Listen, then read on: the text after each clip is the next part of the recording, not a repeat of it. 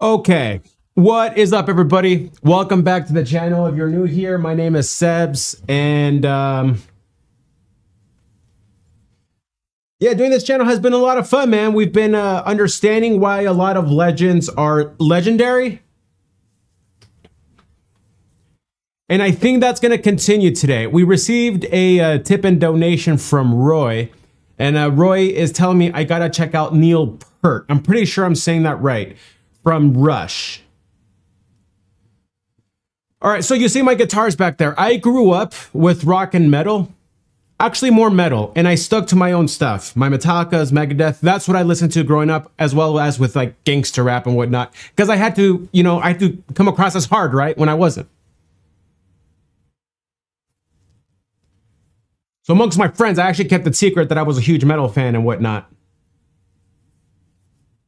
But anyway, growing up in rock, you hear certain things, right?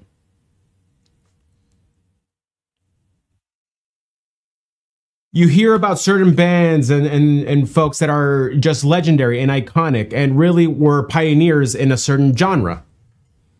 So growing up and being in a metal band and whatnot, somehow I don't know who I heard it from, either my brother or something, but I I had heard growing up that the drummer of Rush is the greatest drummer ever.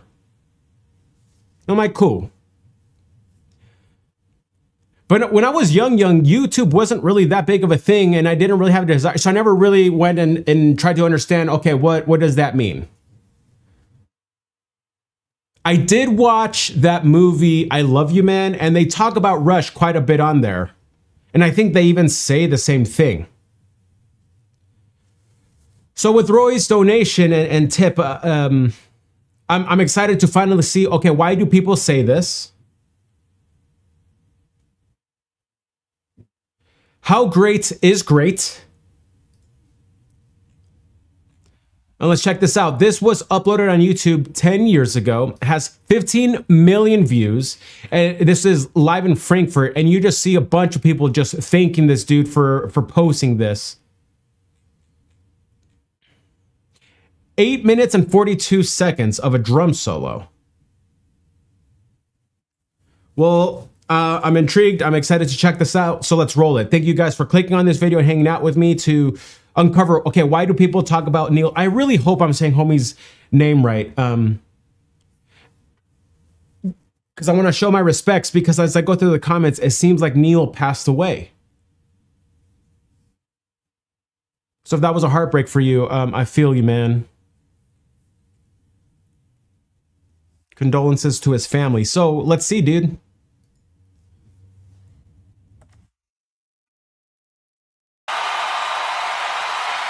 in HD.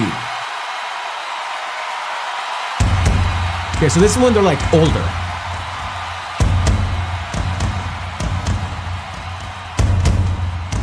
Yeah, homie's like old. I promise I'm gonna keep the pauses at a minimum, but what the F am I looking at here?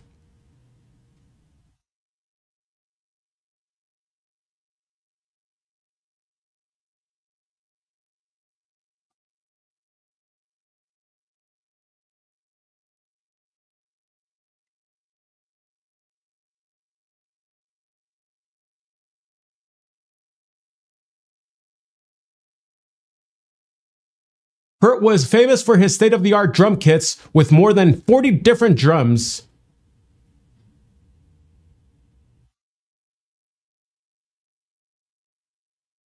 Sweet Moses, dude.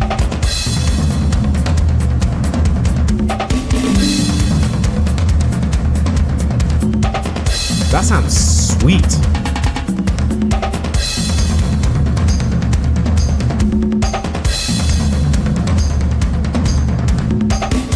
And they're purposeful. The, like the sounds they make.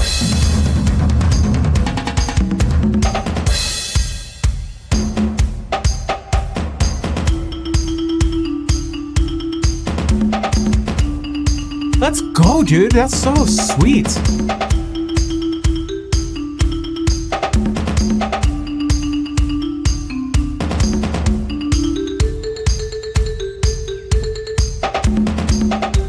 Can really be a one man band.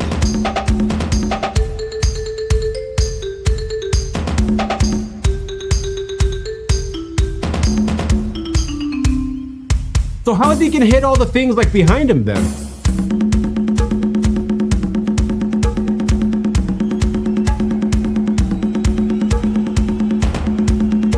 Oh, his seat just swivels.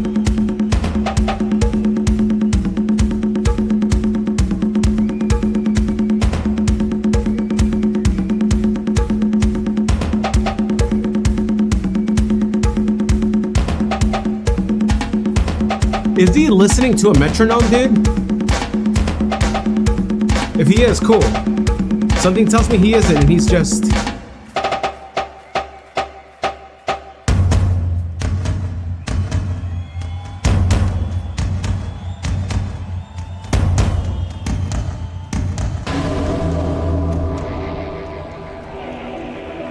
Wait.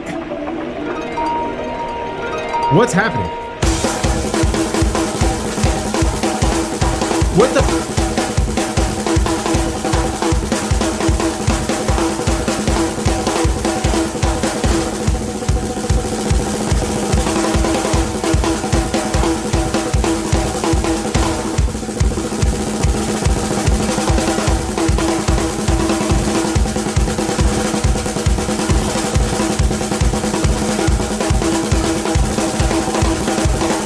This is so dope, dude.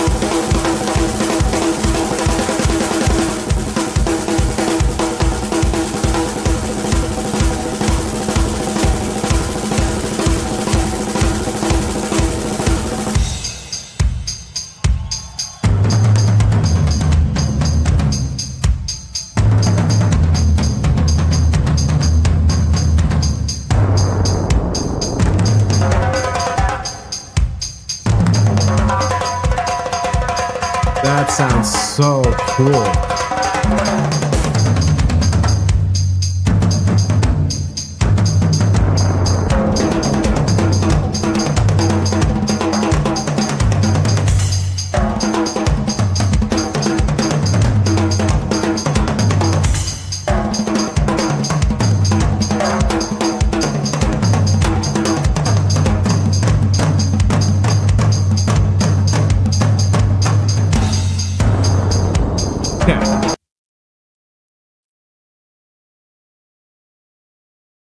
I think it was my older brother who told me, "Yeah, bro, the the drummer of Rush has like the biggest drum set you'll ever see." But I was, I didn't, I didn't envision it being like an entrap, like an entrapment, like full blown. It's like a cubicle of drums and awesomeness. I've been to three Tool concerts now, and Danny Carey is is my favorite drummer. I think right now. I can see how this dude, uh, because he's way this guy's way be, before Danny Carey's time. I can see how why like that this guy was one of his inspirations.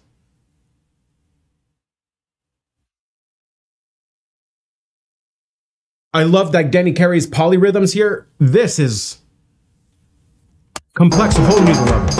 Gosh.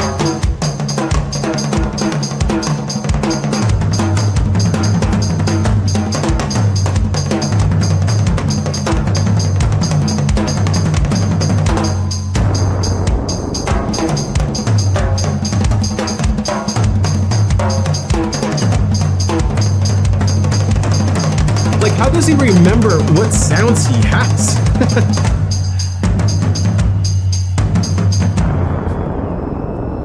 He's even got like effects and.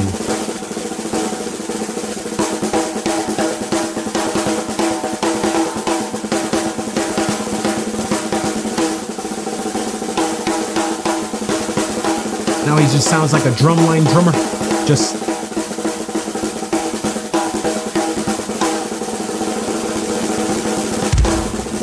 Oh.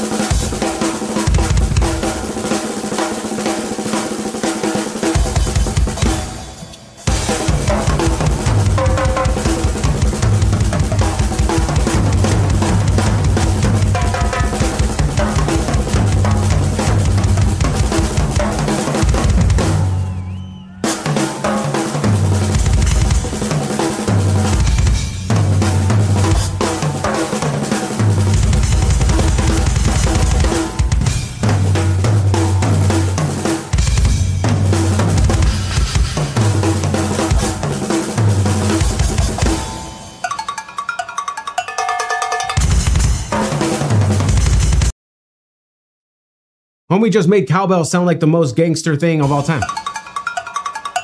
That's so sick. Jeez.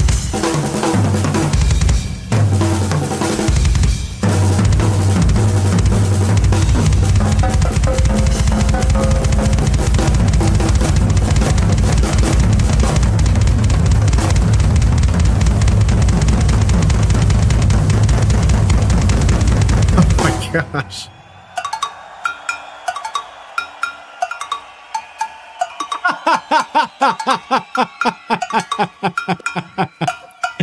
oh, dude, I want to run that back because like the amount of like effort this just barely took. One, he doesn't even seem winded, but then going to that, that was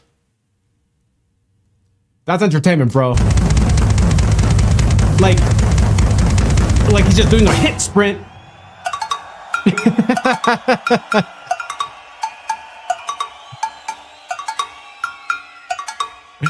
This is the one song my, my wife can play on the piano. Oh, that's hilarious.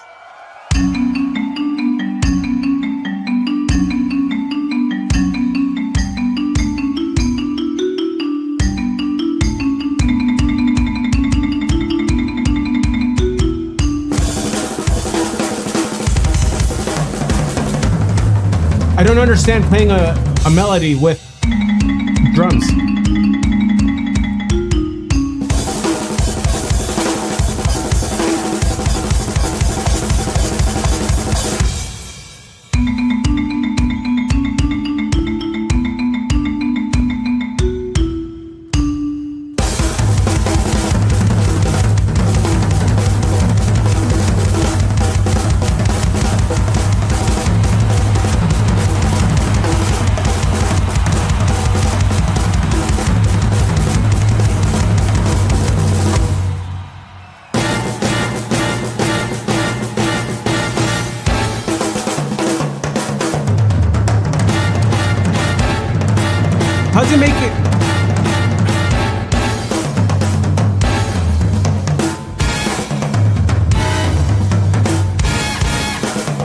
Is there like a band there too that's like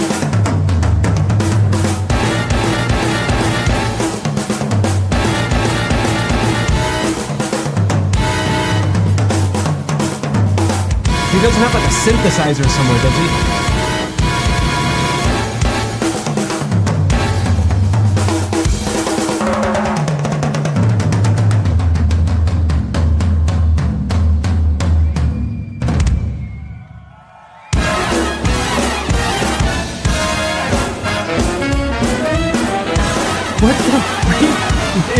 Is